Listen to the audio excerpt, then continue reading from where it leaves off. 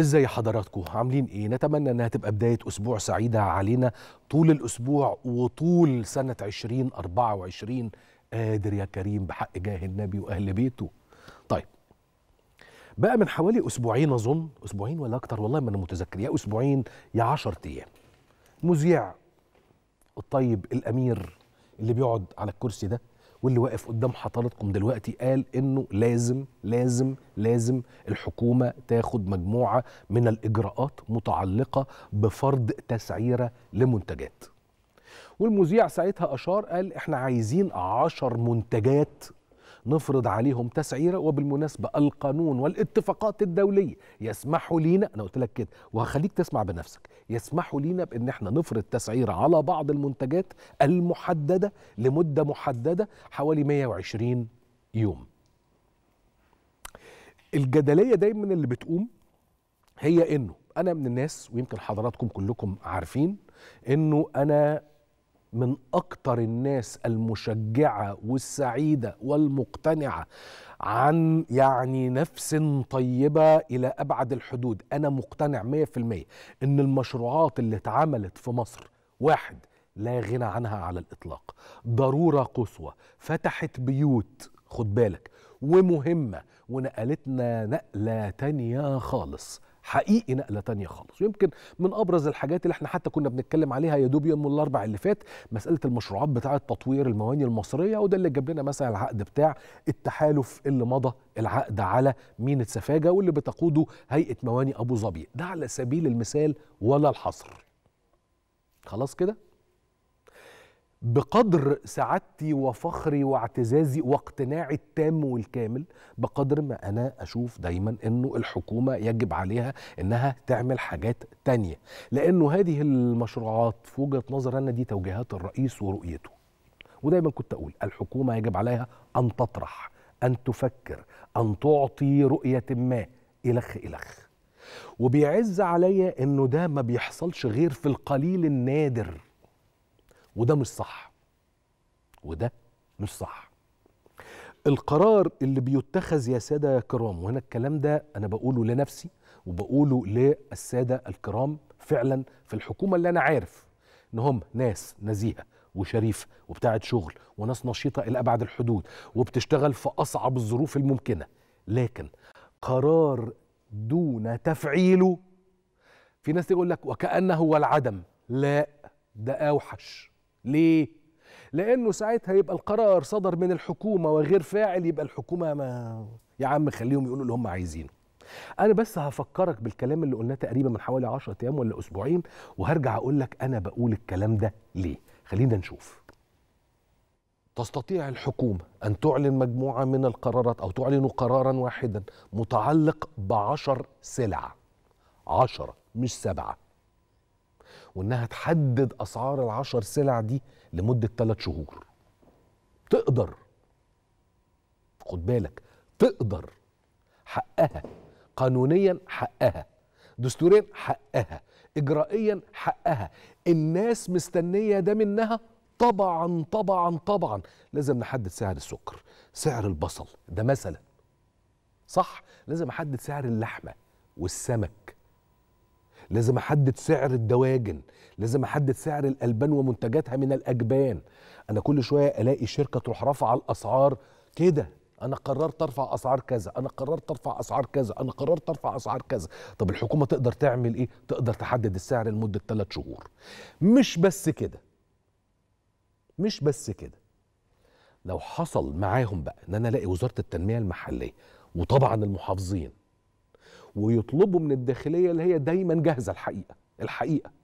معاونتهم نزول كل يوم في مناطق مختلفة في السبعة وعشرين محافظة. كل يوم كل يوم كل يوم. اعمل كده شهر. لو الأسعار ما اتعدلتش أبقى أنا فعلا ما بفهمش حاجة. شفت؟ كل يوم كل يوم. ده الكلام اللي هو بتاع إيه؟ رجل مصر. ده الإصرار الذي يحمل ألما. ليه هو الإصرار الذي يحمل ألما؟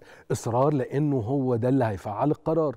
يحمل ألما لأن أنا قلقان متألم من كتر القلق إن إحنا ما نشتغلش كل يوم كل يوم كل يوم. طب الكلام اللي قاله المذيع حصل. مش بالظبط بس حصل. في النهاية خالص الدولة مش هتمشي طبقا لأحلامي يعني. لكن قد يكون ليهم وجهة نظر ما زاوية ما. الكلام اللي كان بيقوله المذيع بيقول لك يا جماعة المذيع اللي هو يوسف ده يعني كنا بنقول إيه؟ اولا شكرا إن الحكومة عملت كده ده بجد يعني. وأظنهم فتحوها لحد 120 يوم كمان مش ال 90 يوم الثلاث أشهر اللي قال عليهم الأخ يوسف الحسيني ده. لكن اللي إحنا بنتكلم فيه إنه أنا كنت عايز إنه يتحدد لي خد بالك هو من ضمن الليستة الحكومة قالت إنه تحديد سعر الألبان والجبن الأبيض أو الجبنة البيضاء. طب الجبنة البيضاء دي يندرج تحتها مثلا الجبنة القريش؟ وعليه. اللي أنا بتمناه إنه ما يبقاش سعر اللبن والجبنة البيضاء يبقى سعر اللبن ومنتجاته المصنعة محليا صبرا.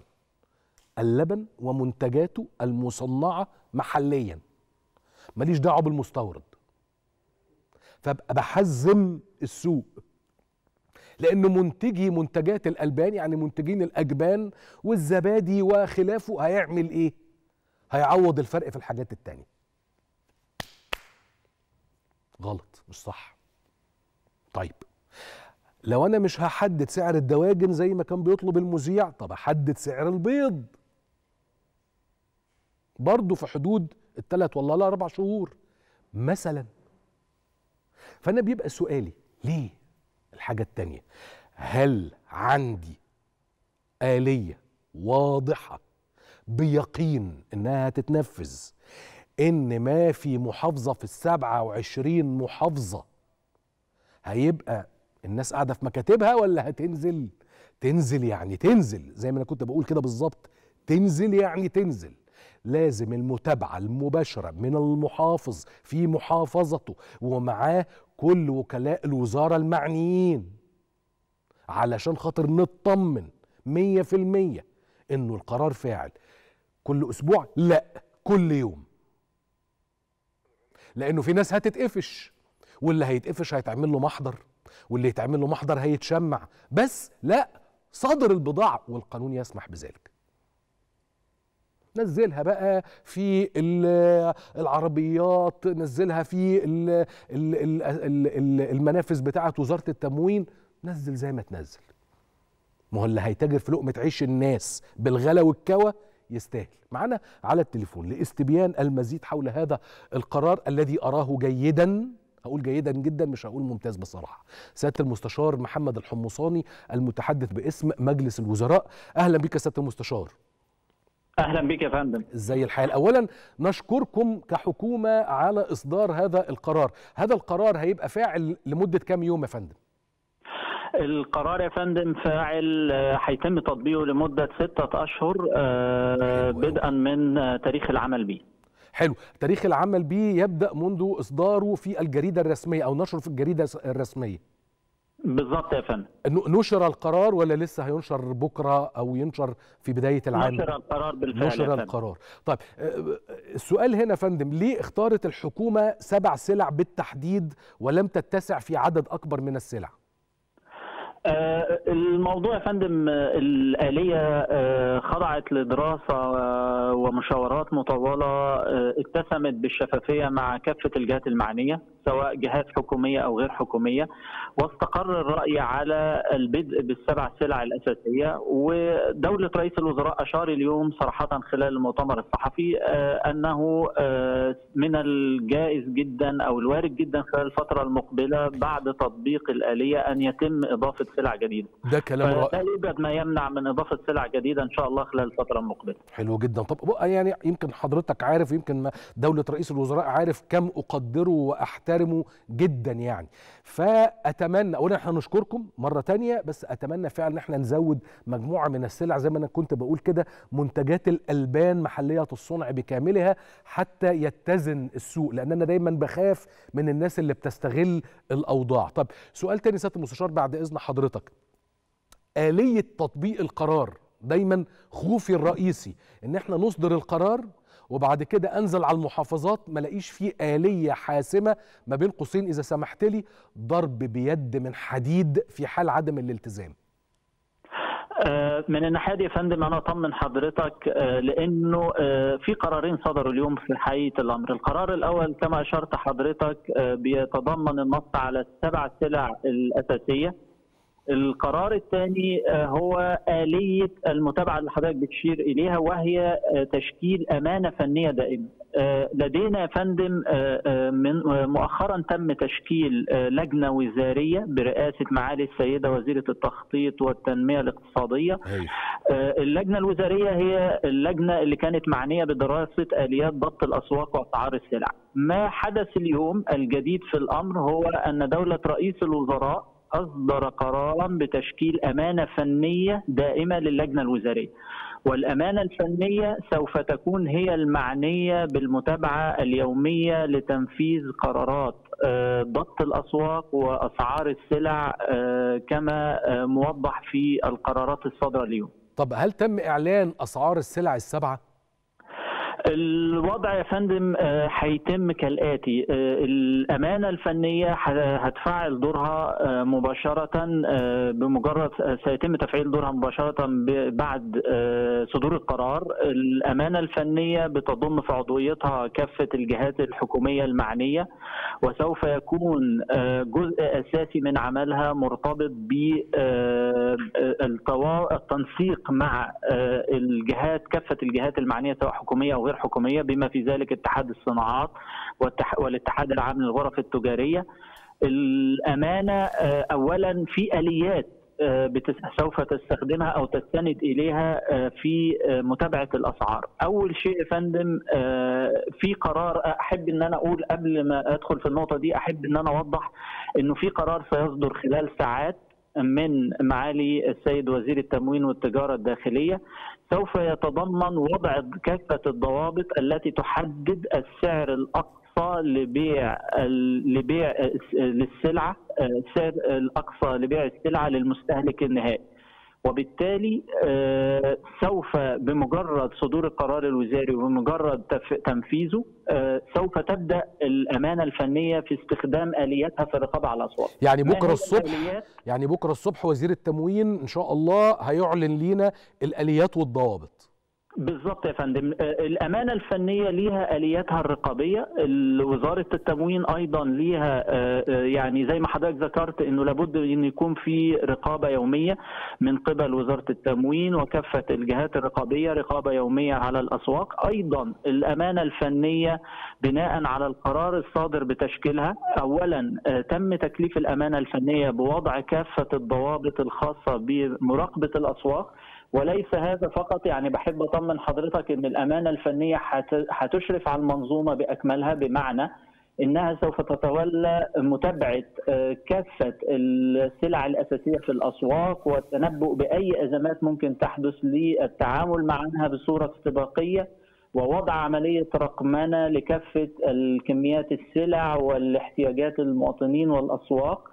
الآلية كمان الأمانة الفنية باعتبارها الآلية المشرفة سوف تنسق مع اللجان سيتم تشكيلها على مستوى المحافظات بناء على قرار سوف يصدر من معالي السيد وزير التنمية المحلية للرقابة على الأسواق.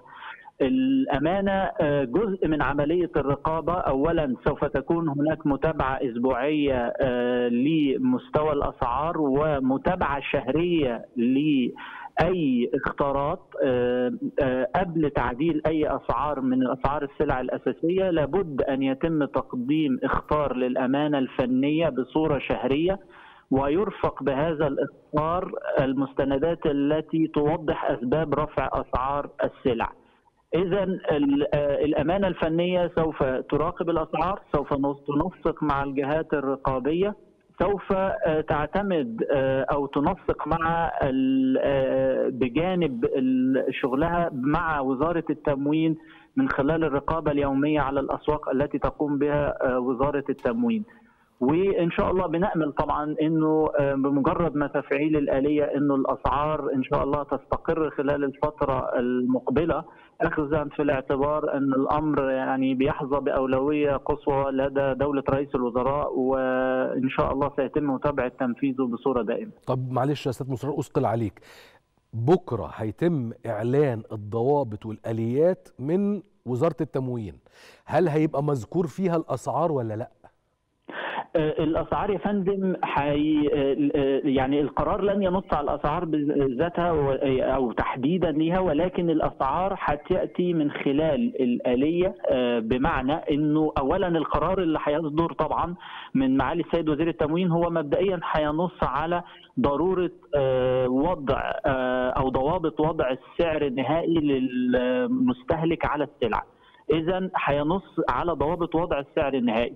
السعر النهائي دوت الآلية بمجرد الأمانة الفنية بمجرد تفعيل دورها هتتابع مع كافة الشركات والمنتجين والمصدرين م. الأسعار التي سيتم وضعها وأي تعديلات قد تطرأ فيها طيب في نقطة ثانية مهمة فضل. إذا سمحت لي عايز أقولها فضل. إنه القرار اللي تضمن النص على السبع سلع الأساسية نص على إلزام المنتجين والموردين والموزعين والبائعين بالمبادرة باختار مديريات التموين والتجارة الداخلية بنوعية السلع التي لديهم وكميتهم وكميتها وما قد يكون مخزن لديهم بشأنها إذا العملية هي رقابة شاملة رقابة من قبل الأمانة الفنية التابعة للجنة الوزارية ورقابة من قبل مديريات التموين والتجارة الداخلية ورقابة من الأجهزة الرقابية الأخرى التي تعمل على الأرض وتتابع بصورة يومية طب معايا مستشار دلوقتي السعر ده لما هيتم تحديده هل هيتحط على المنتج نفسه ولا على الرف؟ لأنه هيبقى في فرق كبير يا فندم الضوابط هي اللي هينص عليها القرار إنه هيتم وضع السعر النهائي للمستهلك أو الحد الأقصى للسعر النهائي للمستهلك على السلعة وسيتم وضع أو توضيح الضوابط يا إما إنه هيتم طباعته يا إما إنه هيلاقي ستيكر على السلعة لكن هيبقى موجود على السلعة نفسها فهم. طيب علشان القرار يبقى فاعل 100% زي ما حضرتك قلت هيبقى فيه لجنة فنية هتتابع ده وهيبقى فيه تقارير وما إلى ذلك. بس أنا كل قلقي بأمانة شديدة وبكلم حضرتك بصراحة إنه المتابعة جوه المحافظات يعني الإدارات المحلية نفسها ما تتابعش بشكل يومي. وكلمة يوم يا فندم أنا أخشى ما أخشاه إنه اللي هو إيه بنتابع في سوق مركزي جوه عاصمة المحافظة أو مدينة من المدن الكبرى. وسلام عليكم وتصورنا وروحنا. في الحقيقة يا فندم يعني النقطة دي يعني هي نقطة مهمة لأنه دولة رئيس الوزراء أشار إليها بكل صراحة. دولة رئيس الوزراء اليوم في المؤتمر الصحفي أكد إنه الدولة بكل مؤسساتها سوف تعمل لضمان ضبط الأسواق. ولكن في دولة بحجم مصر أطرافها بأطراف مترامية هناك دور مجتمعي على المواطن. بمعنى إنه أي مواطن يجد إنه في تجاوز في سعر البيع غير المكتوب على السلعة أو العبوة عليه إنه يبلغ الجهات الرقابية سواء كانت وزارة التموين أو أي جهات رقابية الأخرى، اذا هناك دور أيضا على المواطن لكن الدولة من جانبها لن تكتفي كما ذكرت حضرتك بالرقابة على الجهات أو المراكز الأساسية أو عواصم المحافظات. ولكن ستكون هناك متابعة دقيقه للأسواق. ويمكن النقطة المهمة اللي بتطمن حضرتك هي إنه جزء من عمل الآلية سواء عن طريق اختار الأمانة الفنية أو عن طريق اختار مديريات التموين والتجارة الداخلية سيكون هناك ضبط لتواجد السلع وتوافرها وأسعار السلع. ويمكن كمان النقطة اللي أنا أشرتها لحضرتك إنه الجزء من تكليف الأمانة الفنية التابعة للجنة الوزارية هي إنه الأمانة سوف تضع كافة الضوابط المتعلقة بضبط الأسعار. بمعنى إنه سوف نشهد إن شاء الله تطورات إيجابية خلال الفترة المقبلة من خلال وضع كافة القواعد والضوابط ورقمنة عملية متابعة الأسواق وبالتالي سوف تكون مع مرور الوقت هناك ضبط محكم لكافة الأسواق وتواجد السلع. وبالتالي الأمانة الفنية سوف يكون لديها القدرة بالتعاون مع اللجان المشكلة على مستوى المحافظات للتنبؤ بوجود أي أزمة أو أي نقص في سلعة ما أو أي تجاوز وسيتم التعامل معه بصورة فورية. أنا مش عايز أثقل على حضرتك يا سيادة المستشار ولكن أوصيكم أوصيكم أوصيكم. عدم التعويل على مسألة أن المواطن هيبلغ لأن دي ثقافة مجتمع. هذه الثقافة غير موجودة عندنا. علشان أوصل لها هاخد وقتي. فأنا أوصيكم بأنه السادة المحافظين الأجلاء حتى في إطار أن إحنا 27 محافظة المحافظ في إيده محافظة واحدة بس. بس ينزلوا بشكل يومي يا سيادة المستشار. لو ما عملوش كده هيبقى القرار غير فاعل. لو ما ضربوش بإيد من حديد وشمع المحل ده وصادر المخزن ده هيبقى القرار مش فاعل يا فندم. حضرتك من الناحية دي حضرتك ما تقلقش يعني دولة رئيس الوزراء أشدد اليوم على إنه ستكون هناك متابعة أسبوعية في اجتماع مجلس الوزراء ومتابعة يومية من قبل سيادته لعمل الآلية.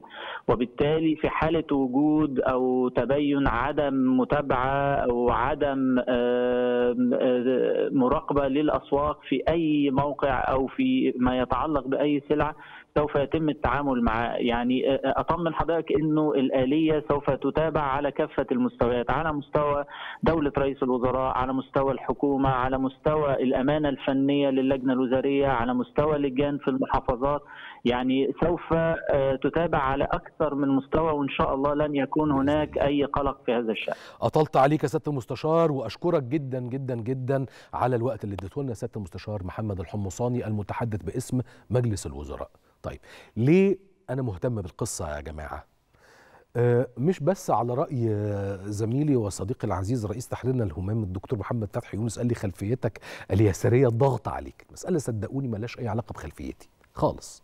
ده المسألة مش خلفيتي اليسارية المسألة إنه أنا قلبي كله بل يكاد يكون دمي يساري 100% لكن اللي أنا عايز أقوله لك كالآتي إحنا عندنا للأسف بعض التجار الكبار مش الصغيرين بيحتكروا السلع وبيعطشوا السوق وبيرفعوا السعر وبيهبطوا السعر براحتهم. بيحصل؟ آه بيحصل. ما إحنا لسه قافشين الناس بتاعة السكر وقافشين الناس بتاعة بصل إحنا هننكر واقع إزاي؟ و... و... في حين أنه واقعا منشورا. ما أقدرش أنكره. طيب. تطبيق تسعيرات جبرية على نسق ستينيات القرن الماضي ما بقاش ينفع. الزمن غير الزمن. أدي واحد. طب لو أنا طبقتها في نفس ذات الزمن الحالي اللي هيحصل إنه تطبيق سلعه جبرية يساوي آه تسعير جبرية يساوي آه على طول خلق سوق موزع على طول. صح؟ صح. إلا في حالة واحدة.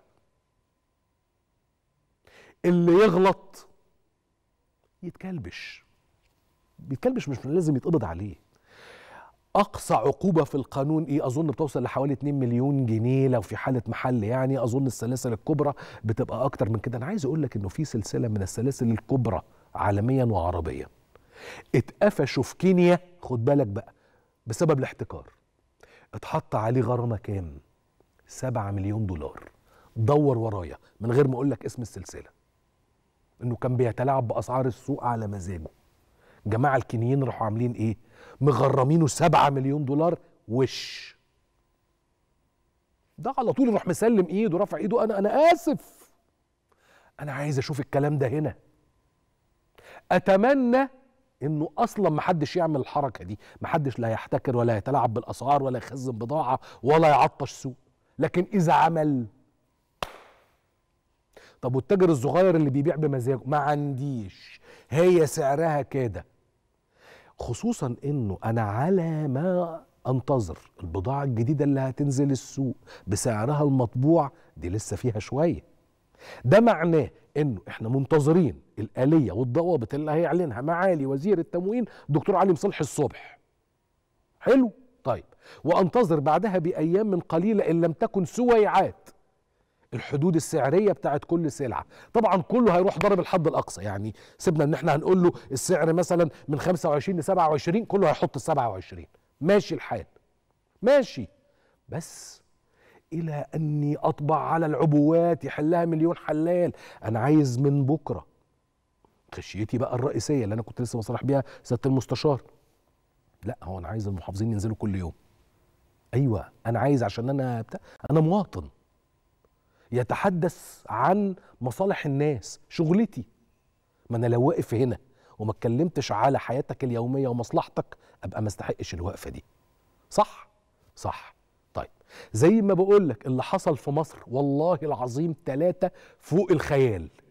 والله والله والله والله والله. أمام ربنا سبحانه وتعالى. اللي حصل في مصر في التسع سنين دول فوق الخيال. ومفيش واحد فينا في المية وخمسة مليون مواطن كان يتخيل إنه ده هيحصل.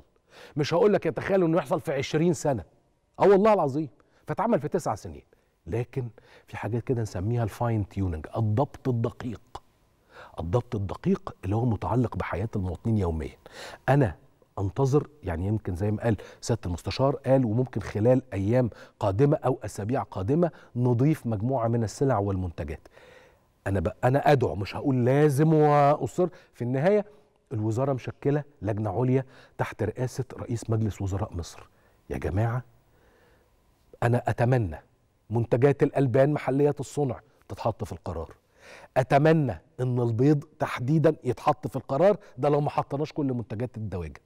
أتمنى إن اللحوم تتحط جوه القرار. لحد اللحظة دي أسعار اللحوم في هسميها إيه؟ هسميها الحزام الريفي. كانت زمان حزام ريفي ما بقتش. لكن حتى زي ما كنت بقول لك الوراق مثلا ناحية شبرا الخيم مثلا. ده أنا مش هقول لك بني سويف ولا هقول لك في قلب القليوبية يعني. وبعض الأحياء داخل القاهرة نفسها بتتباع فيها اللحمة بأسعار أقل من ال 300 جنيه ب 350 و 360 و 370 الله! يعني سعر اللحمة كده. أمال اللحمة اللي بتتباع ب 350 و 400 دي ليه؟ ليه؟ طيب الأسماك أنا عندي أسماك بتاعتي أنا محلية بعملها عندي في المزارع بتاعتي وده جزء من الحاجات اللي كنا فعلا بنحلم بيها لعقود. لازم أظبط السعر بتاعها. يبقى السعر بتاعها زي السعر اللي بتتباع بيه في المنافذ مثلا بتاعت القوات المسلحة وشركة وطنية. فأنا عايز السوق يشتغل على نفس السعر. فإن لم يكن لما تزود 10 جنيه على الكيلو حاجة ولما تزود 50 جنيه و100 جنيه على الكيلو حاجة تانية إزاي يعني؟ محدش يقول لي دي تكلفة النقل ومصاريف التشغيل. محدش يقول الكلام ده عشان ده كلام مش واقعي ومش سليم وعيب وما يصحش. تاني زي اللي حصل في مصر فعلا في التسع سنين. فوق خيالنا وطموحاتنا بكتير لأنه أقصى الطموحات كنا بنحلم بحاجة من الحاجات اللي اتعملت إنه إن شاء الله يمكن بعد 15 20 سنة هنوصل لكذا. كنا بنقول كده. في المقالات المنشورة في الجرايد. لا ده مش في الجرايد المعارضة ده في الجرايد المعارضة. والجرايد الخاصة وبعض الجرايد القومية آنذاك.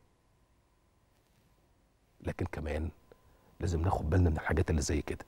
يا جماعة للمرة التسعة آلاف والله العظيم لو المحافظين نزلوا بربطة المعلم يوماتي كل يوم في مدينة شكل وبشكل إيه؟ عشوائي وغير مرتب انزل القرية دي الكفر ده المدينة دي المركز ده إلى آخره هتلاقي السوق اتظبط. واحد اتضرب ضربة صح علشان مفتري وبيستغل احتياج الناس ولقى نفسه لابس الغرامة المظبوط ولقى نفسه مخزنه متصادر 100 فل. قولوا آمين. فاصل ونكمل الكلام.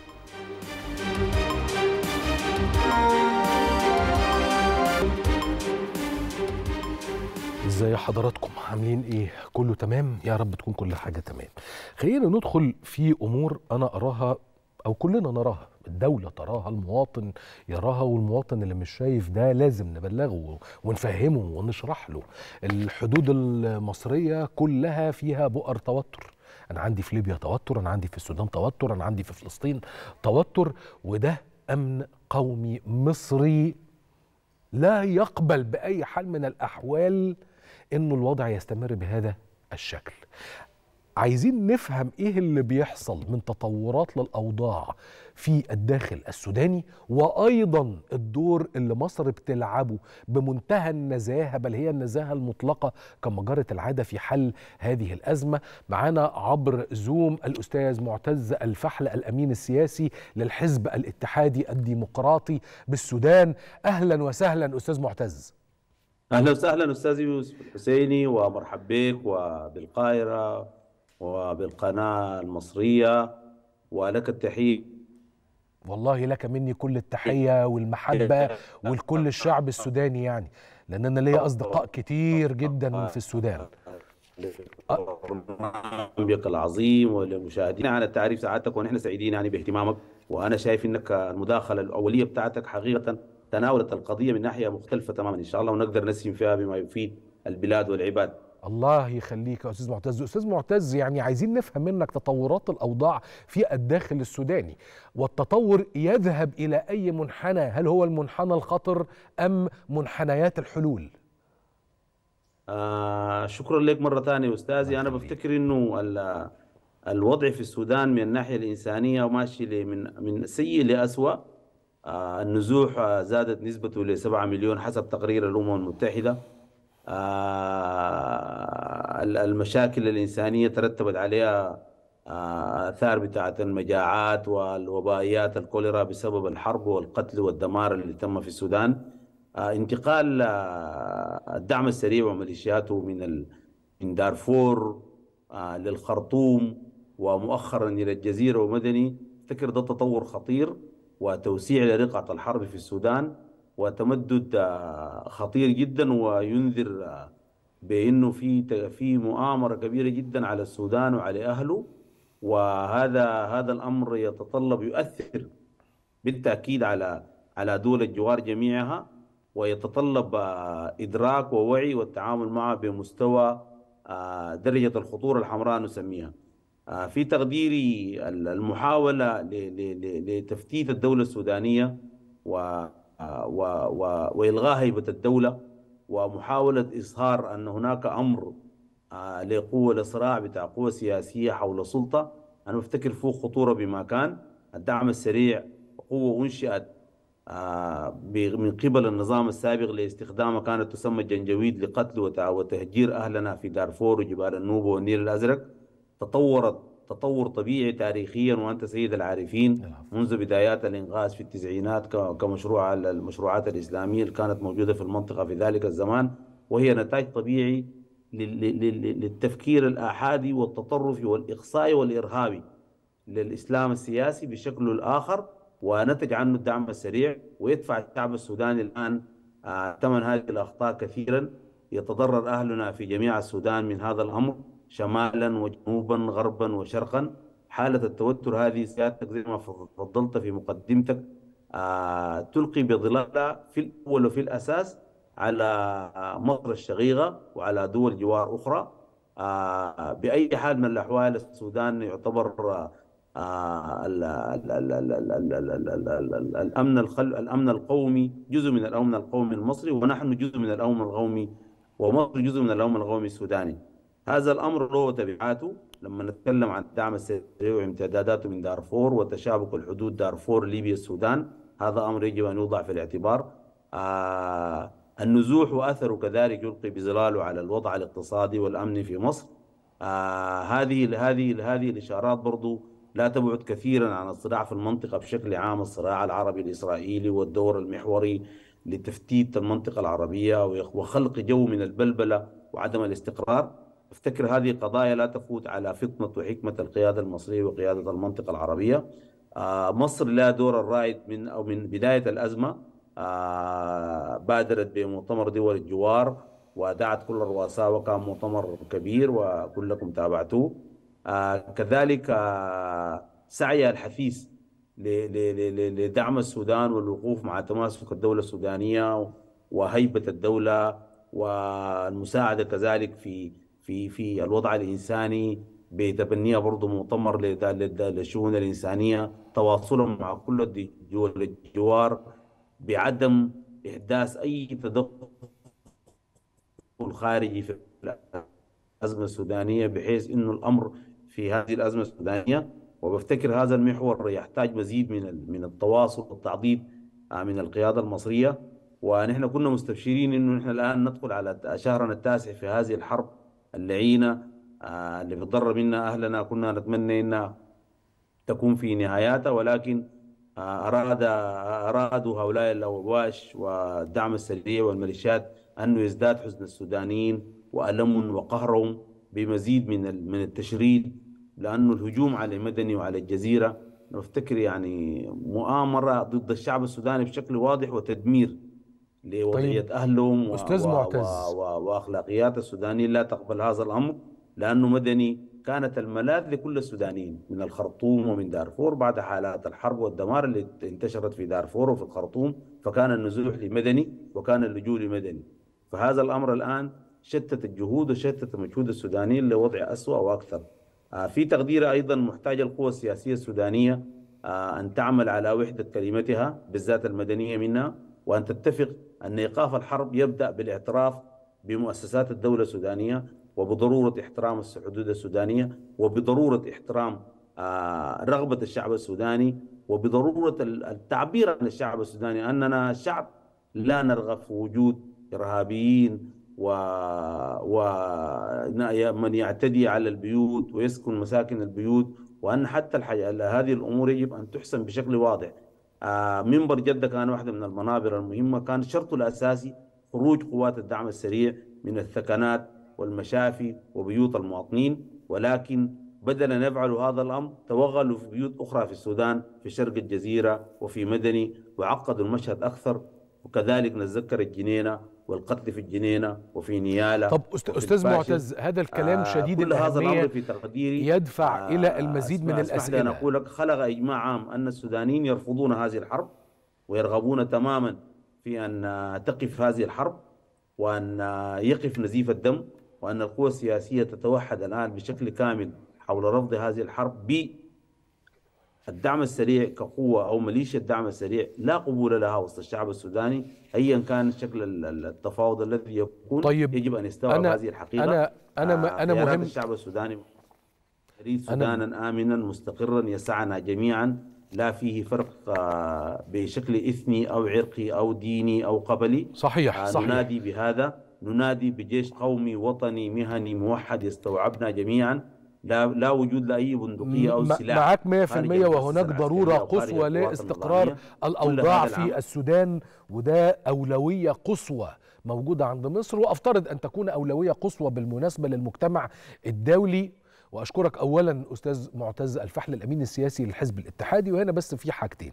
أول حاجة على الكل أن يعلم جيدا أن السودان ليس دولة صغيرة ولا وضعها هين في القارة الإفريقية. عدم استقرار السودان امنيا ووصوله إلى هذا الحد ينذر بكارثة خد بالك كارثة. مش بس في المنطقة بتاعة الحدود المصرية السودانية أو دول الجوار السوداني. أنت بتتكلم على كارثة في منطقة وسط إفريقيا وقد تمتد بالمناسبة لتلتحم مع الغرب الإفريقي. الغرب الإفريقي في أجزاء كتير جدا شديدة الاحتقان شديدة الالتهاب تسيطر على بعض مناطق داخل بعض الدول. عمليا هو تنظيم داعش. اللي بيحصل في السودان سوف يصل الشرق بالوسط بالغرب. يعني من الآخر إفريقيا مهددة تهديد وجودي. لو في حد مش قادر يتصور ده ولا يفهم ده كده في مشكلة كبيرة جدا. يعني أي حد أي حد متصور إنه المزيد من التطور في هذه العمليات ما بين الجيش السوداني وما بين قوات الدعم السريع سوف تؤدي إلى أي شكل من أشكال الاستقرار على حسب رؤية أي داعم؟ الرؤية خاطئة مية في المية. لا تتصور إنه ساعتها لو وصل الدعم السريع للحكم فيبقى كده السودان استقرت. خالص. ولو إنه استعاد الجيش السوداني قوته في ظل إنه يظل الدعم السريع في حالة خلاف وشقاق واستنفار وتحارب ولو حتى مناوشات ما بينه وما بين الجيش السوداني يبقى كده خلاص الدنيا استقرت. هي لا كده ولا كده. أنا اللي أعرفه إنه القوى السياسية في السودان الأحزاب المدنية. تاني الأحزاب المدنية. تالت الأحزاب المدنية. مضروبة بقى ما بين قوسين في قوى اليسار السوداني. لازم يبقى في موقف شديد الوضوح. شديد الوضوح. من إيه؟ من إنه نحن مع الدولة. فقط لا غير. علشان أعرف أأمن الحدود بتاعتي وعلشان الجيش يقدر يبسط كامل سيطرته طبقا للقانون والدستور يبقى لازم القوة المدنية. إحنا عندنا تجربة. إحنا عارفين. إحنا عارفين. علشان أقدر أخلي الدولة تستقر وأقضي على بقايا النظام السابق وأقضي على التنظيمات الإسلامية اللي موجودة في السودان والتي تعبث وتتحالف مع البعض أو الآخرين. القوة المدنية كلها لازم تقف مع القلب الصلب للدولة. هل في حلول تانية؟ لا. اللهم إنا قد بلغنا. اللهم فاشهد. طيب تعال هاخدك على الحدود الشرقية بتاعتي. فلسطين القضية الأكبر والأقدم في العالم. مفيش أقدم من القضية الفلسطينية حتى هذه اللحظة. بل إنها كمان قضية الصراع الأطول يعني الصراعات الكبرى في العالم استمرت مثلا لك حرب المئة عام. أنا عندي حرب النهارده بقى لها أكتر من 100 سنة لأنها غير مرهونة غير مرتبطة فقط بإعلان الدولة أو الكيان سنة 48 المسألة أبعد من ذلك. ويمكن ذكرت لحضراتكم قبل كده الكلام ده يمتد حتى منتصف أو النصف الثاني من القرن ال19 وليس فقط لمؤتمر بازل بل ما هو قبل ذلك. والهجرات اللي كانت بتيجي من أمريكا للاستيطان تحديدا في يافا.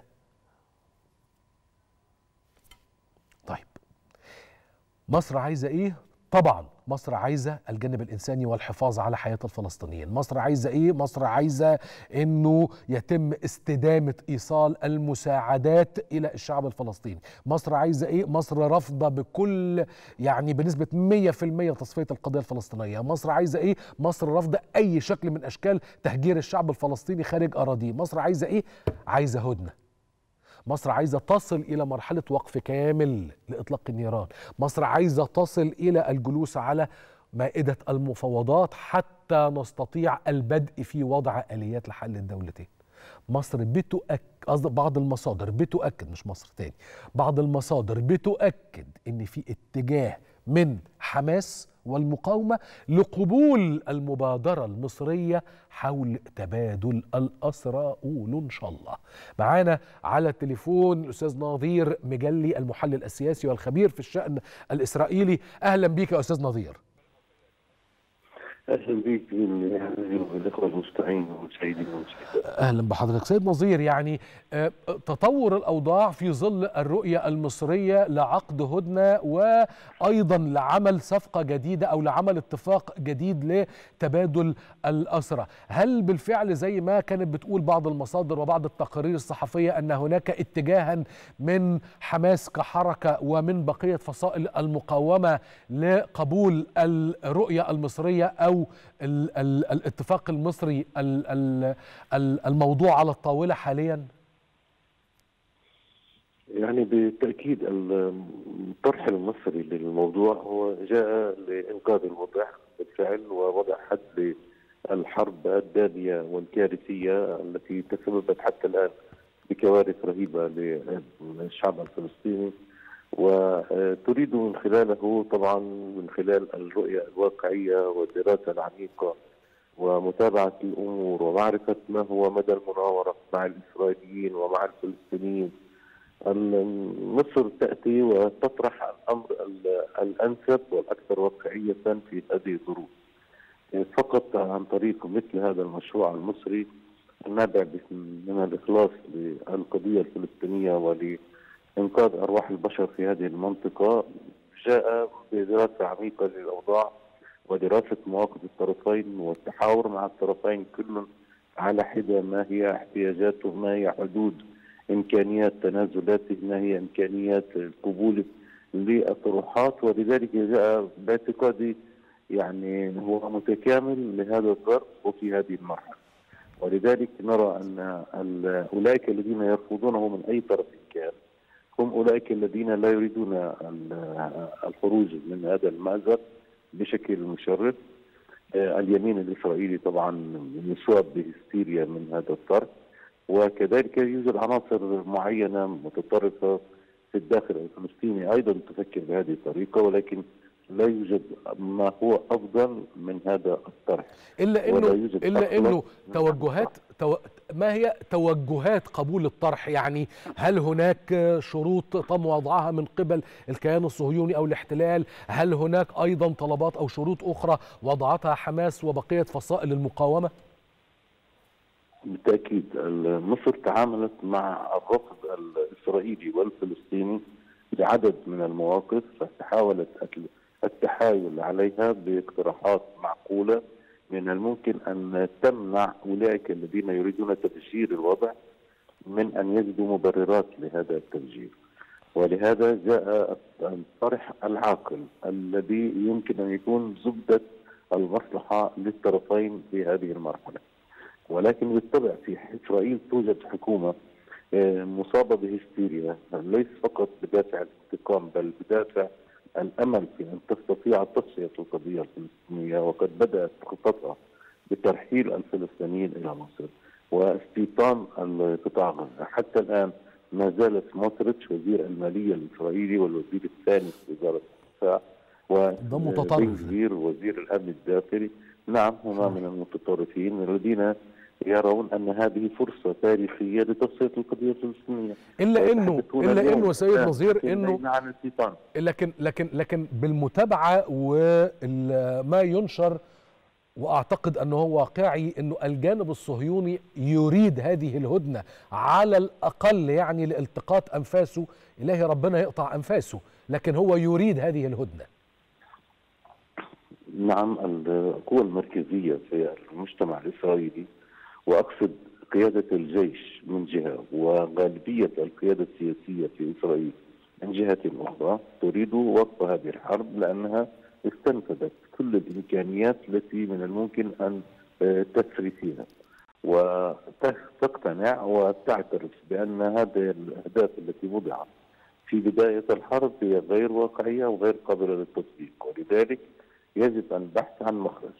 الإدارة الأمريكية تساند هذا الموقف وطبعا مصر كانت قد عملت على التفاهم مع الولايات المتحدة حول تفاصيل هذه الاتفاقية أو هذه المبادرة وكذلك مع الدول العربية ومع قيادات فلسطينية عديدة قبلت بهذا التوجه.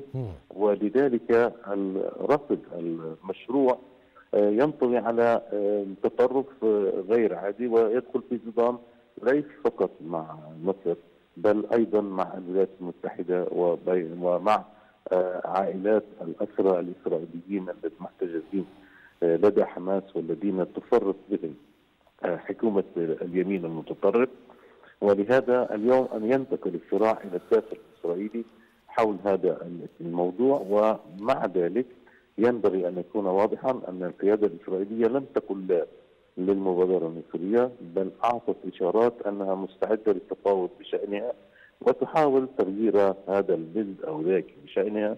هذه التواريخ بدل أسبوعين ثلاثة بدل أسبوع اثنين وهكذا. في إطار تفاصيل ليست جوهرية. ومن الممكن التغلب عليها في المفاوضات. أشكرك جدا أستاذ نظير مجالي المحلل السياسي والخبير في الشأن الإسرائيلي. إذا طبقا للي قاله الدكتور الأستاذ نظير أنه الجانب الصهيوني أيضا يريد هذه الهدنة بل أنه يسعى إلى هذه الهدنة مستعد للجلوس على مائدة التفاوض. يريد أن يعني يحصل على بعض الأمور أزيد شوية يمكن من الطرح ودي طبيعة المفاوضات لكنه لا يرفضها بأي حال من الأحوال. الأحوال في رأي الأستاذ نظير أنه سوف تتم هذه الهدنة لأنها تحظى لو صح التعبير بقبول من الطرفين سواء إذا كانت المقاومة من جهة أو الكيان الصهيوني المحتل من جهة أخرى. الرؤية المصرية أو المقاربة المصرية هي واضحة أمام الجميع. أنا مش بكلمك بس على هذه الهدنة. مصر موقفها شديد الوضوح فيما يتعلق بقضية الصراع العربي الصهيوني. في عندنا مجموعة من اللاءات واحد لا لتصفية القضية. اثنين لا للتهجير القسري للفلسطينيين لأي مكان في العالم. ثلاثة لا لإيقاف المساعدات. أربعة لا للاستمرار في بناء المستوطنات أربع لاءات أو اللاءات الأربعة للدولة المصرية فيما يتعلق بقضية الصراع العربي الصهيوني. بالمناسبة اللاءات الأربعة هي أربع لاءات جذرية. يعني هي دي ما فيهاش تفاوض. يعني في فرق ما بين إن إحنا نقعد على ترابيزة المفاوضات ونتكلم في حاجات كتير. أليات و و و و. لكن في أمور لا يتم الحديث عنها على الإطلاق ولن يتم مصر رفضها بشكل قطعي. وخلي بالك القمة المصرية الأردنية واللي تمت في القاهرة كانت واضحة في اللاء رقم أربعة وقف النشاط الاستيطاني الإسرائيلي. هذا أمر لا جدال فيه ولا مناقشة. يبقى إحنا عندنا أربع لاءات تاني واحد لا لتصفية القضية. اتنين لا لتهجير الفلسطينيين خارج أراضيهم إلى أي مكان في العالم. لا لوقف المساعدات الإنسانية. لا لا للاستمرار في النشاط الاستيطاني. اللاءات الأربعة للدولة المصرية فيما يتعلق بقضية الصراع العربي الصهيوني. طيب أخيرا وليس أخيرا وقبل الفاصل. هات لي بلد في العالم كانت بهذا الوضوح وهذا الحسم وهذا الحزم فيما يتعلق بقضية الصراع العربي الصهيوني. هات لي بلد. ايا كانت اسمها إيه. والسلام عليكم. فاصل ونكمل الكلام.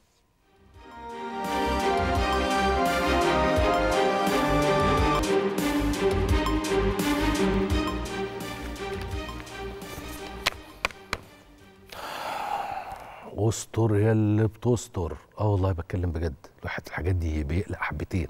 بس يقول لك دايما إيه بقى؟ الوقاية خير من العلاج. معروفة.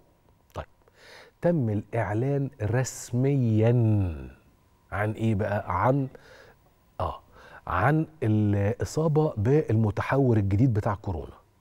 طب هل ده معناه إن إحنا يعني خلاص لا ولا خلاص ولا حاجة. القصة كلها في إنه ده إعلان رسمي من الوزارة بتقول إنه كده في حالتين وإنه يا جماعة إحنا هناخد الاحتياطات بتاعتنا. اللي أنا عايز أقوله لك إنه أنا أتذكر جيدا جدا في بداية ظهور الكورونا طلعت شوية ناس ومش هقول لك كل الناس كانت وحشة يعني لكن طلعت ناس. قالت لك يا جماعة أوبا الكورونا بقى لما هتيجي مصر آه مصر مش هتعرف توفر اللقاحات مصر مش هتعرف تعمل مش عارف إيه إلى آخره. وصلنا لمرحلة إنه مصر أصبح في عندها فوائد من اللقاحات. بل إنه إحنا كمان وقفنا جنب بعض من أشقائنا في الدول الإفريقية وبعتنا لهم لقاحات. بل إن إحنا وصلنا إلى يعني زي ما أقول لك كده عارف بعثات طرق الأبواب بقى في عندنا طرق للأبواب للمنازل. نقول لهم يا جماعة لو سمحتوا اللقاح معانا تعال نطعمك آه بقى في عندنا أماكن للتطعيم في كل حتة. مول تلاقي في مكان للتطعيم. تنزل مترو الانفاق هتلاقي مكان للتطعيم. عربيات بتلف عموم الجمهورية في مكان للتطعيم. طيب ال JN 1 ده اللي هو المتحور الجديد لازم يبقى في عندنا سبل بقى هنا للوقاية. معانا على التليفون دكتور أحمد شاهين وهو أستاذ علم الفيروسات بكلية الطب بجامعة الزقازيق. أهلا بيك يا دكتور. أهلا وسهلا أهلا وسهلا. إزاي الصحة؟ كله تمام؟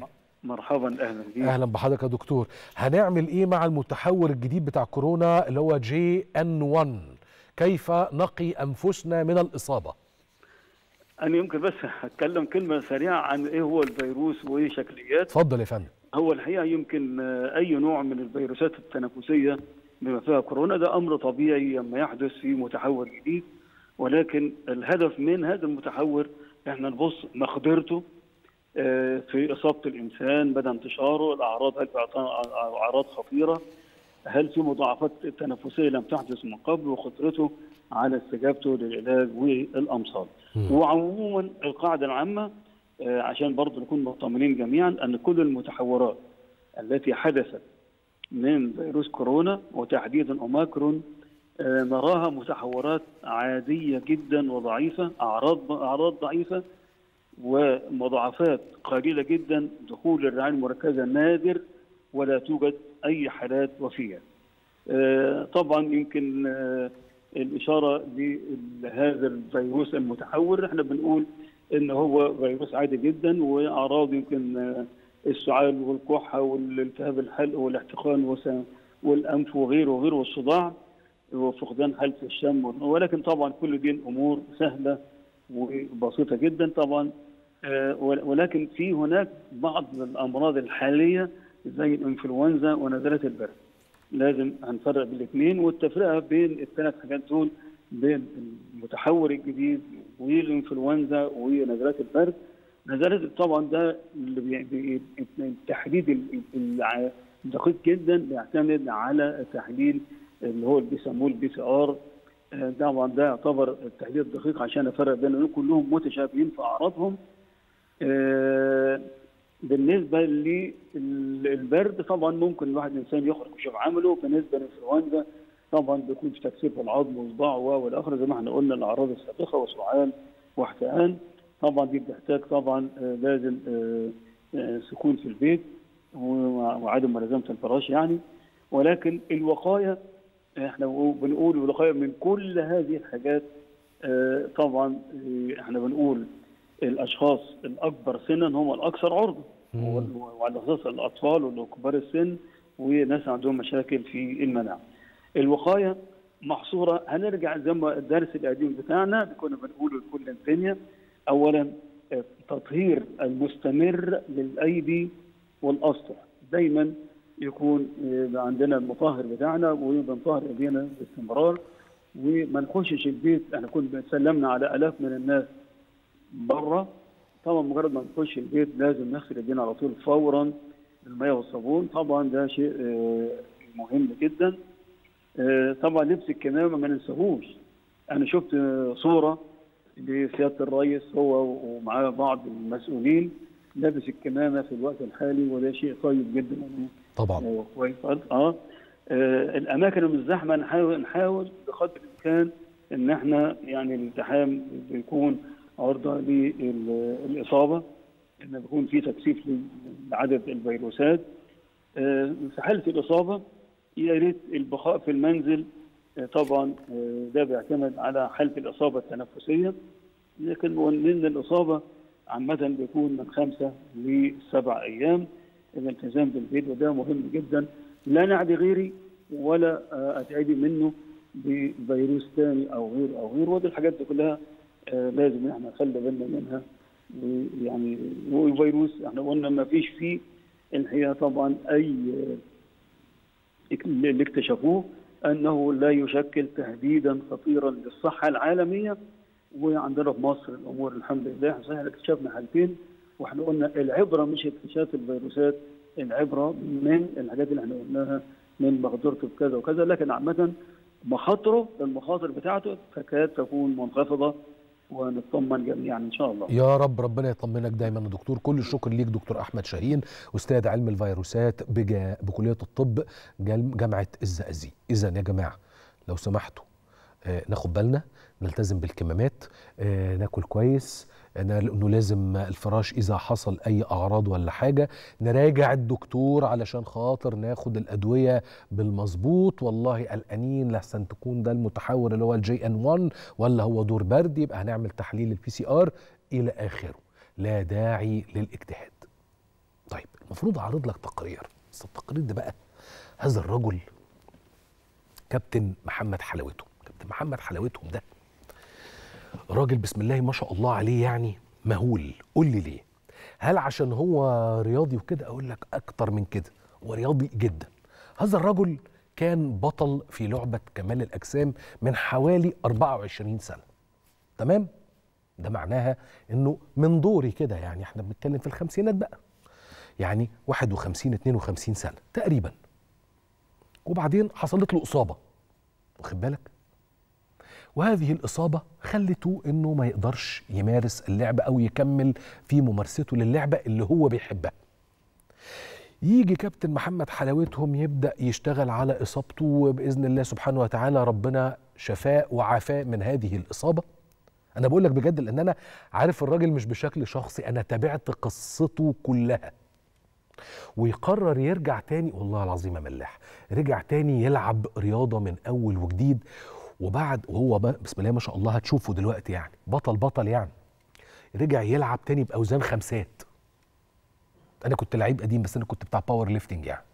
تعرف يعني إيه خمسات؟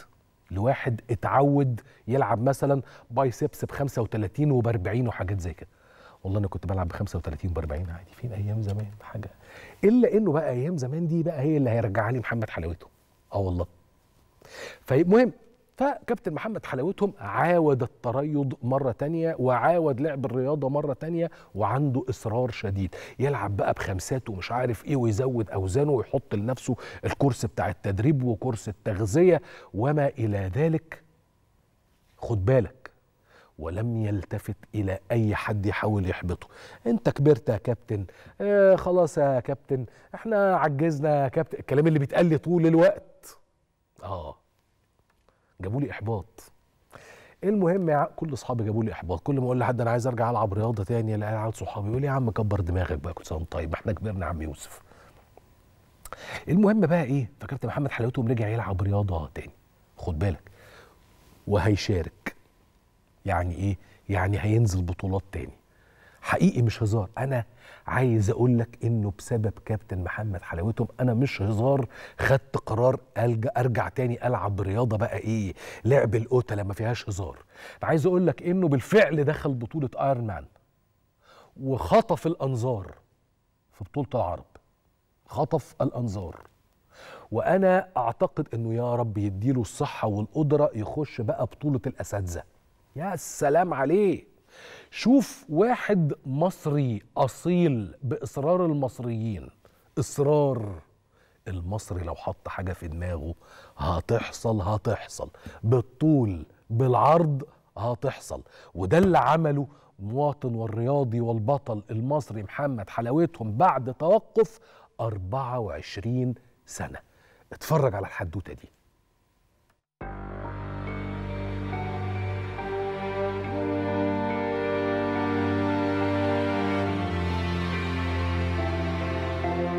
كابتن محمد طاهر دخل في ال 51 شهرتي في اللعبة محمد حلاوته.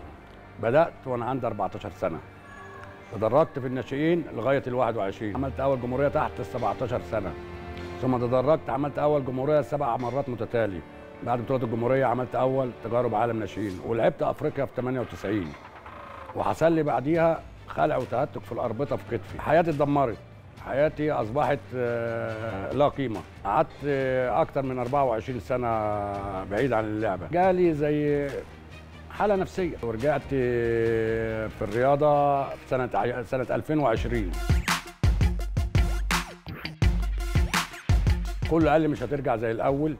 آه، أنت بعد ما شاب ودوك كتاب. كسرت نفسي. اتحديت العالم كله. حتى لدرجة أقرب الأقربون قال لي دي حلاوة روح. اتحديت أكتر. وقابلت الصعوبات والحمد لله.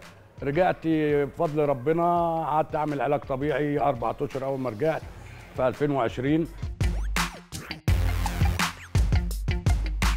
لعبت سنة وثمان أشهر كسبت بطولة ايرون مان الحمد لله. آه، تأهلت لبطولة العرب. وربنا كرمني ببرونزية بطولة العرب. آه، من أول جمهورية من لب- لبطولة العرب. من الميدالية الأولانية دي 32 سنة. فرق. رياضة الجيم مش مجرد تعتيل أو أي لعبة أو أي حركة والسلام بمعنى إن الكابتن محمد حلاوتهم هو ليه دور كبير بالنسبة لنا هنا في اللعب. آه بيقف جنبنا بيساعدنا بدون أي مقابل يعني بيقف جنبنا. لو في أي حركة لو إحنا مثلا ممكن في حركة ممكن نتصاب فيها هو بيعدلها لنا. فهو بصراحة ليه فضل كبير علينا هنا في اللعب وبدون أي مقابل. وجود كابتن محمد في الجيم هنا نقطة تميز الجيم لأن أي حد في الجيم في الصالة بيتمرن بيبقى ضامن إن هو هياخد الحركة صح. نفسي أبقى طبعا زيه. طبعا دي حاجة تشرفني طبعا المثل الأعلى يعتبر إن أنا أبقى زي كابتن محمد. طبعا في السن والكلام دوت وفي البنية العضلية إن هو عنده معدي ال 50 سنة والبنية العضلية عنده شغالة بالتكنيك دوت وبالأداء الحركي دوت. فهو بطل والناس كلها نفسها تبقى بطل زي كابتن محمد. أنا اتحديت الصعوبات اللي قابلتني صعوبات كتيرة. نظام الأكل ما بقتش أدخل بروتين حيواني دخلت بروتين نباتي. بقيت أفكر لأن عاوز أعمل حاجة. بطل العالم ضحك. ما ما بقول له أنا بيقول لي بتتغدى إيه بعد التمرين؟ قلت له بتغدى أجنحة. قال لي إزاي؟ قلت له أنت عامل عضلات بفلوس. قلت له من عند ربنا. أحب أقول للشباب ابدأ ما تخليش حاجة تحبطك. ما تفكرش في نظام الأكل اللي هي لعبة مكلفة. في بدايل كتير. ابدأ وما تخليش حاجة ترجعك لورا.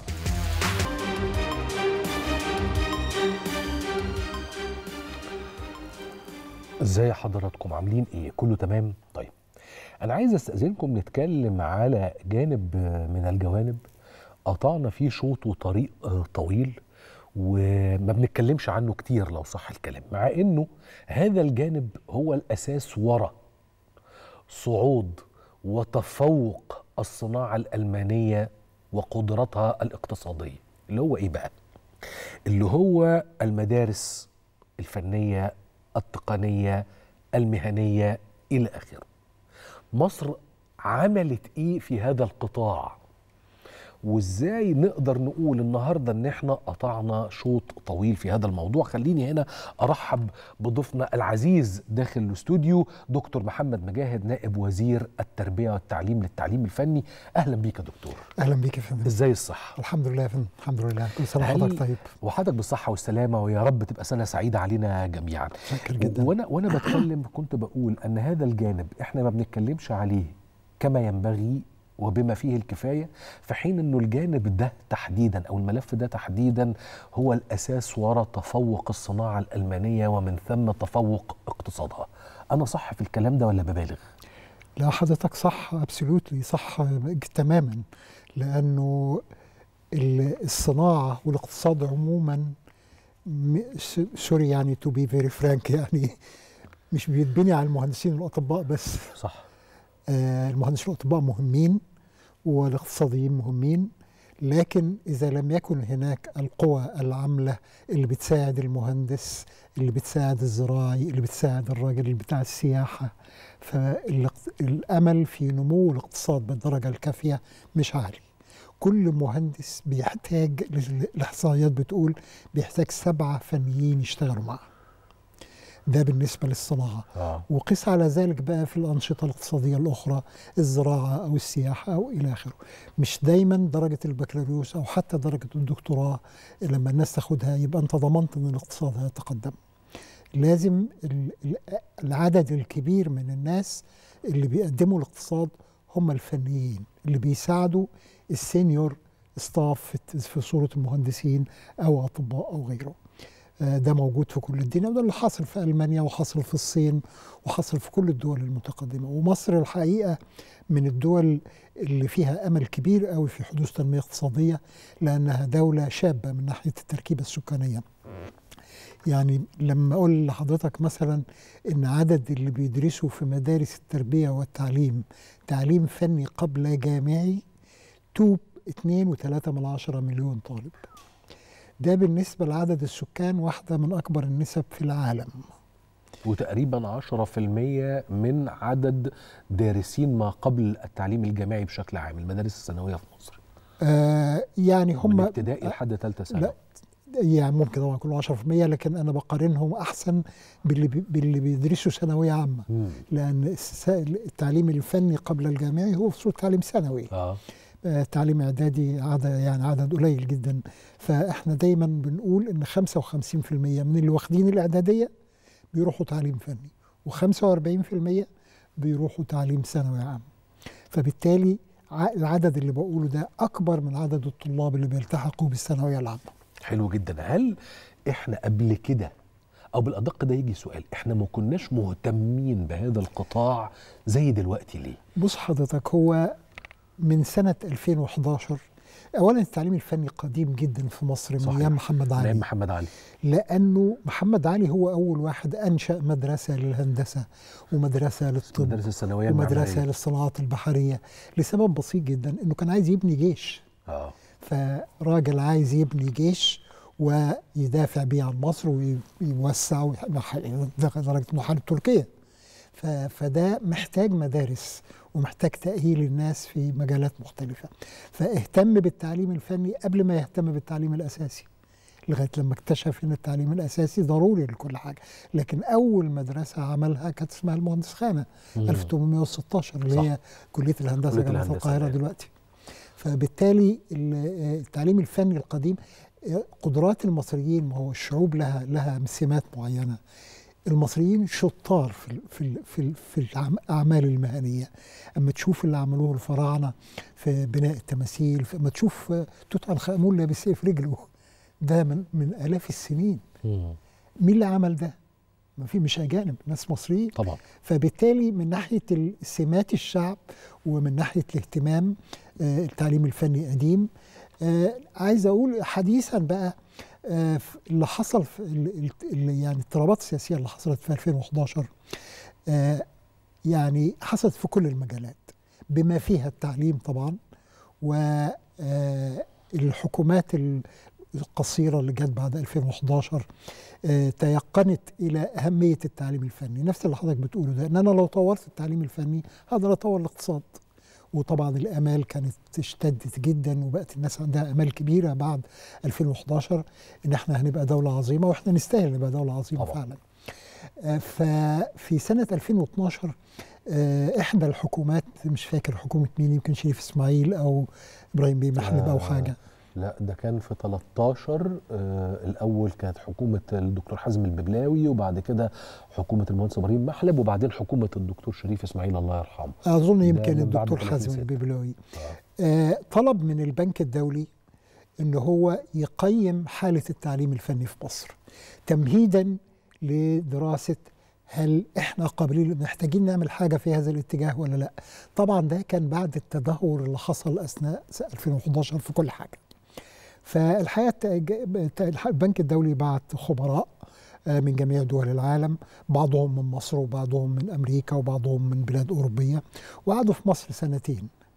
وكانوا بيسألوا الناس الطلبة مدرسين آه، المهندسين رجال الصناعة رجال الأعمال حوالي 700 سؤال ودي يعني منهجية اتبعوها في جميع بيتبعوها في جميع أنحاء العالم لتقييم حالة التعليم الفني.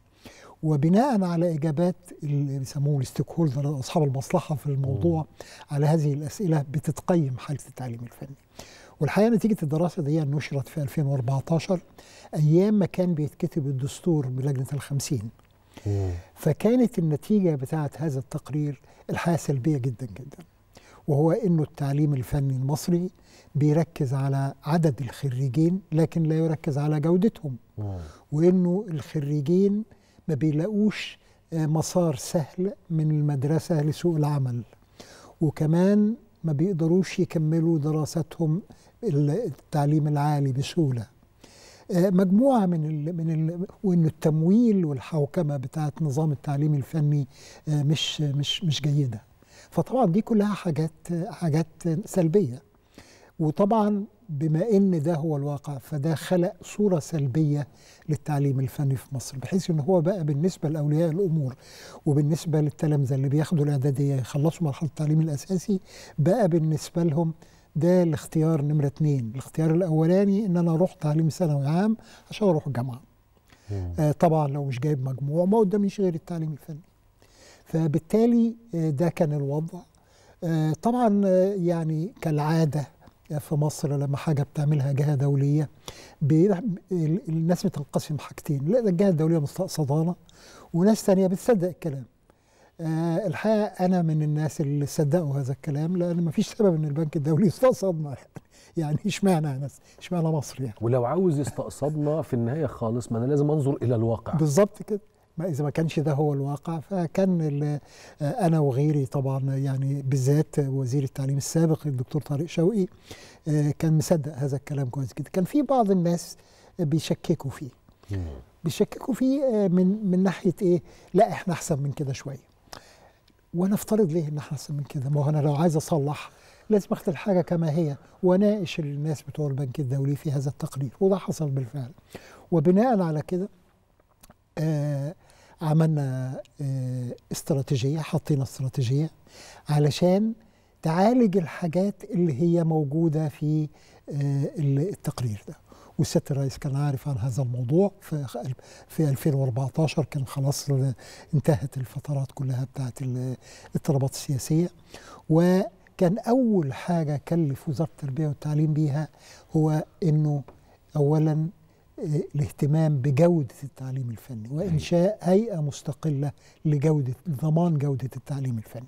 اللي هي بتناقش أول حاجة الناس بتقول لك أنت عندك خريجين كتير بس جودتهم مش كافية. الشيء الثاني إن إحنا قلنا طب نشوف المناهج هل المناهج دي حس تبع المعايير العالمية ولا لأ؟ فاتضح إن المناهج آه، مش تبع المعايير العالمية وبتركز على. على المعرفة أكتر من المهارة. وده بيعيب اللي كان بيعيب التعليم عيب رئيسي في التعليم التعليم الفني. الفني اساسه المهارة. ما هو ما ينفعش لازم يبقى عملي بالظبط مش كده. شوية ورق. بالظبط كده. ما ينفعش طالب في التعليم الفني يقرأ كتاب وبعدين يخرط على المكنة بالكمبيوتر أو يطبخ أو يطهو أو يعمل يزرع حاجة زراعية. صح. ما ينفعش النولج لوحدها تبقى كافية إنها تكسبه المهارات. بالعكس الكلمة اللي يعني مش اخترعناها اللي العالم كله بيستخدمها ب- اللي هو بناء المناهج على أساس الجدارات أو بالإنجليزي ال competencies ال competency based education هو ده الترند في كل العالم. هو ده المعيار العالمي للتعليم الفني. فبناء عدنا بناء المناهج. بدأنا طبعا مش هنقدر المناهج كلها نعملها في ساعتها. فبدأنا سنة 19 آه، بنينا آه، حوالي 20 منهج. طبقناهم في 100 مدرسة وسنة بسنة سنة 20 زادت المناهج ديا. أوكي. لغاية السنة دي اللي هي 23 24 إحنا بن بن بنتكلم على 95 منهج أعيد بنائها على أساس الجدارات اللي هي آه، المنظومة من المهارات والمعارف والسلوكيات المستدامة. أو المهارات المستدامة. المهارات المستدامة يعني إيه؟ يعني إن الخريج بيبقى بيحترم الوقت يبقى بيقدر يعلم نفسه بنفسه. لما تتغير التكنولوجيا يقدر يتعامل معاها ما يبقاش ثابت عند اللي اتعلمه في المدرسة. آه، في نفس الوقت آه، فبالتالي هذا هذا التحول من المناهج من إنها تبقى تبقى مبنية على أساس الكتاب إلى مناهج مبنية على أساس الجدارات كان تحول مهم جدا جدا. النهارده إحنا هنخلص في كل مدارس التعليم الفني وكل المناهج سنة 25 إن شاء الله. وبالتالي تبقى مصر بقت زي بقية دول العالم بقت زي الصين زي سنغافورة. عندي نفس المعايير بتاعه دول العالم. بالظبط كده. زي ألمانيا مثلا. ألمانيا بتعمل كده. زي ألمانيا. زي ألمانيا. ألمانيا إحنا بنعمل زيها تعليم مزدوج لكن طبعا الاقتصاد ما بيساعدش إن إحنا تبقى عدد طلاب التعليم اللي يسمى التعليم المزدوج أو النظام مبارك كول القديم ما نقدرش نعمل عدد زي ألمانيا لأن الاقتصاد بتاعنا ما فيهوش شركات قد ألمانيا. لكن إحنا يعني بنعمل بدلها حاجة تانية نقدر نسميها التعليم المزدوج المصري إن إحنا قلنا إن لازم ال private sector أو القطاع الخاص طبعا. صح. يساهم في عملية التطوير. صح. فبالتالي اقترحنا إن إحنا نعمل معاه مدارس. طيب أنا هستأذن هروح للفاصل وهرجع على النقطة بتاعة التشارك ما بين الدولة والقطاع الخاص في مدارس تقنية أو فنية مدارس أو تكنولوجيا تطبيقية وما إلى ذلك. هستأذنكم هنروح للفاصل ونرجع مرة تانية مع دكتور محمد مجاهد نائب وزير التربية والتعليم للتعليم الفني ده حديث شديد الأهمية. بجد استنونا.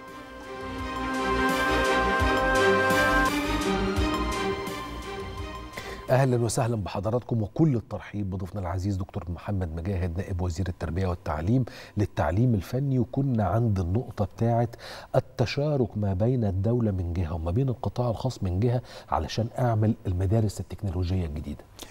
آه هو ده حقيقي ده الحقيقة محور مهم جدا من من محاور استراتيجية تطوير التعليم الفني اللي بدأناها سنة 2018 والحقيقة كنا بادئين على استحياء ومتخوفين إن القطاع الخاص والمستثمرين يكون ما فيش ثقة متبادلة معنا.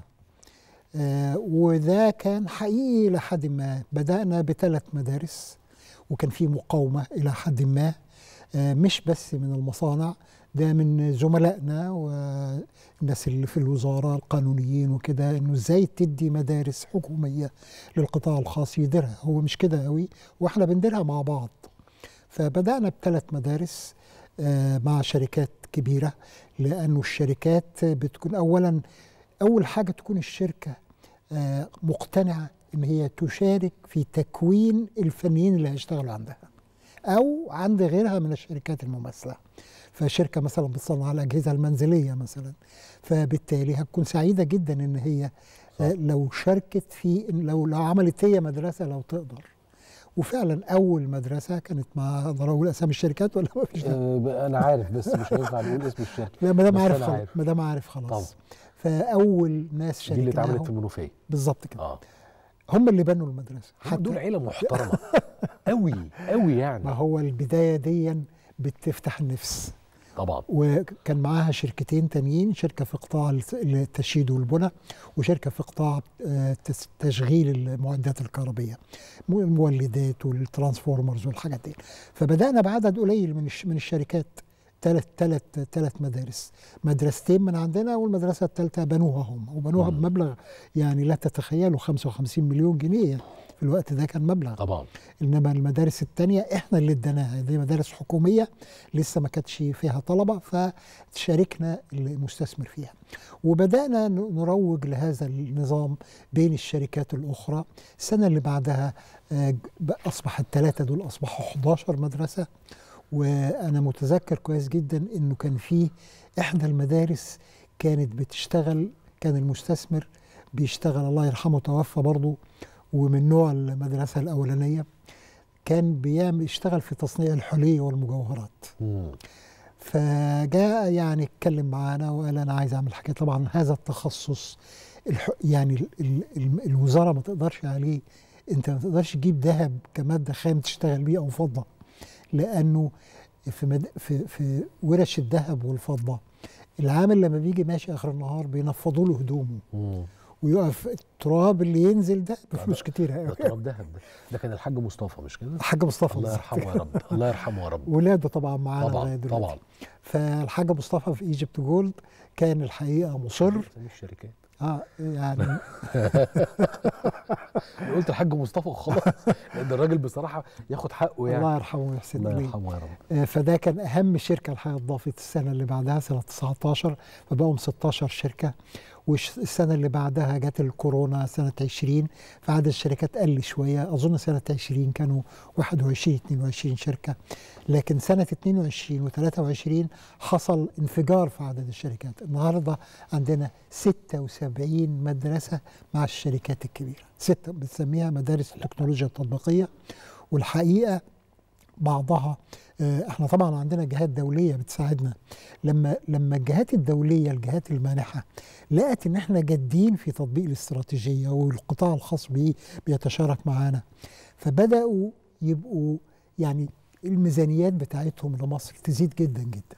في سنة 18 سيادة الرئيس راح ألمانيا ومضى اتفاقية مع ميركل بإنه اتفاقيه طويلة المدى لتحديث التعليم الفني المصري ألمانيا ومصر وماشية لغاية دلوقتي وماشية مم. العدد من السنين إنه اولا التعليم المزدوج ندعمه وكمان نبني حاجات مد- مدارس من نوع جديد بنسميها مراكز التميز في التعليم الفني في مجال الطاقة الجديدة والمتجددة في مجال الإنشاءات بحيث أن مصر يبقى عندها سنة 30 ده بقى بيخدم الشركات الصغيرة والمتوسطة مش الشركات الكبيرة.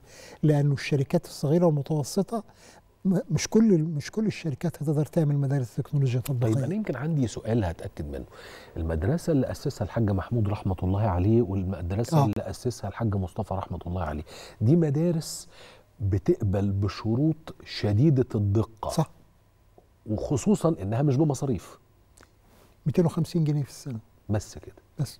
بلاش يعني. الأهم إنك أنت تستحق إنك تدخل المدرسة دي. صح. يعني الطالب ده يخش المدرسة دي اللي هو يساعده يا هاني. حضرتك المجموع اللي بيجيبه الطالب في الإعدادية ويخش هذه المدارس آه، يوديه بسهولة جدا التعليم العام.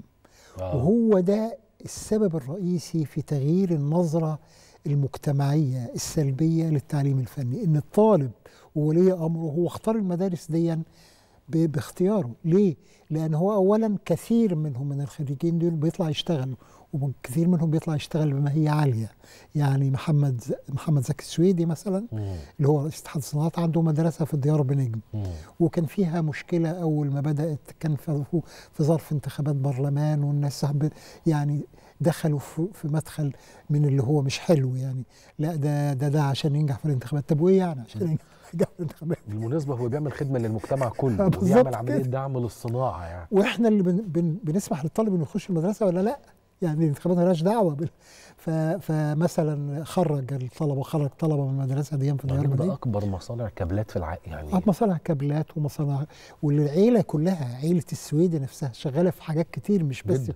مش بس في الكهرباء في الطباعة في في أخوه الصغير شغال في مدرسة برضه عامل مدرسة معانا في مجال رقمنة العدادات ده مجال جديد اللي جدا هي العدادات الديجيتال. عدادات الكهرباء عدادات المية عدادات عدادات الغاز ال- آه، عدادات كل الغاز. ما هو كل رقمي ده وبالشرح. بيحتاج إيه؟ حضرتك بيحتاج ما هو ده بقى الجديد إن التعليم الفني ما بقاش هو الحاجات التقليدية بتاعت النجار والسباك.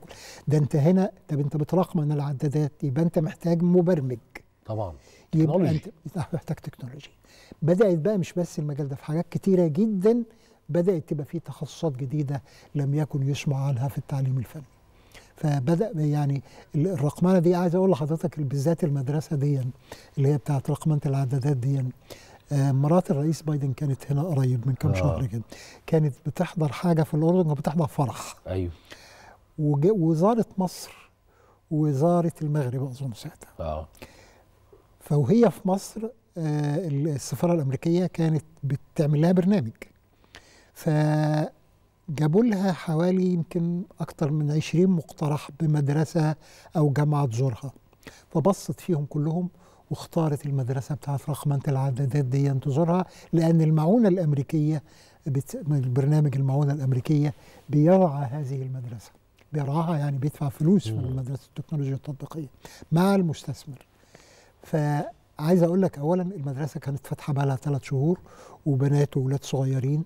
اولا كانوا بيتكلموا إنجليزي أنا نفسي ما كنتش مصدق. كنت أيوة. موجود الدكتور رضا أنا موجود وأنا موجود و Mrs. بايدن موجودة. وبالمناسبة آه، دكتور بايدن هي دكتورة على فكرة.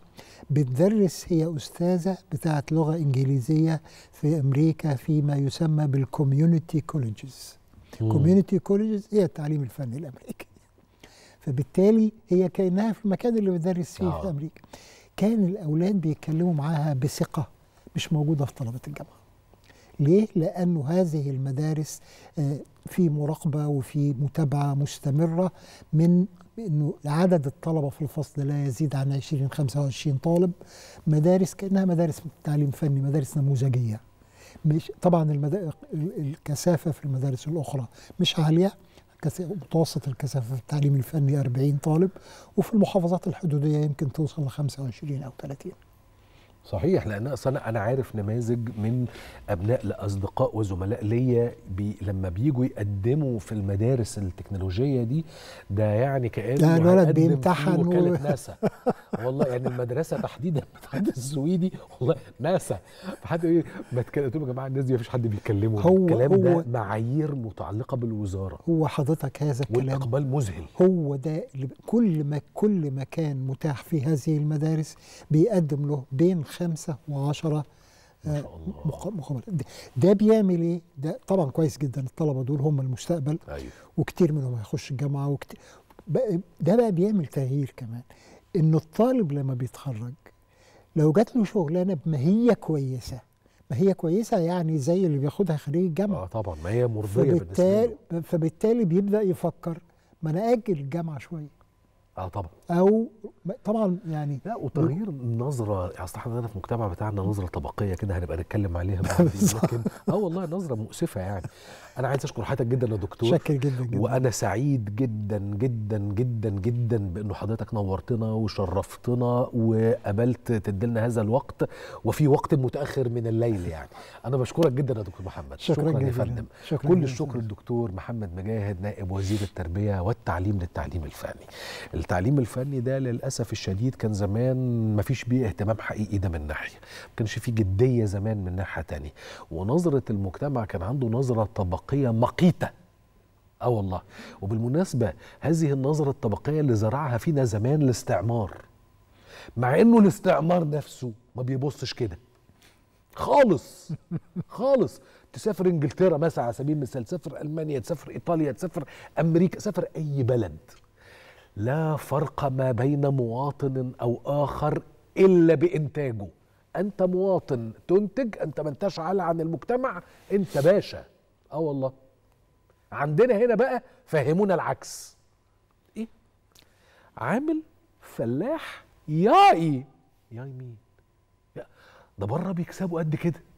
يعني إيه؟ ما أنا بص أنا عارف يونس هيقول لي خلفيتك اليسارية نقح عليك اليومين دول. هرجع وأقول له القلب ينبض دما أحمر. أقول لك أكتر من كده إيه؟ خلصت الحلقة لحد كده. لا لا لا اوعى تفتكر ان إحنا بكرة اجازة. معاك. إحنا قاعدين نتكلم مع بعض بكرة. ان شاء الله لو كلمنا العمر. بس ثواني يكون موجود معانا حالا كريم رمزي وبرنامجه رقم 10 أما إحنا لو كلمنا العمر فهنقابلكم بكرة إن شاء الله في نفس الميعاد وبرنامجكم التاسعة. سلامات.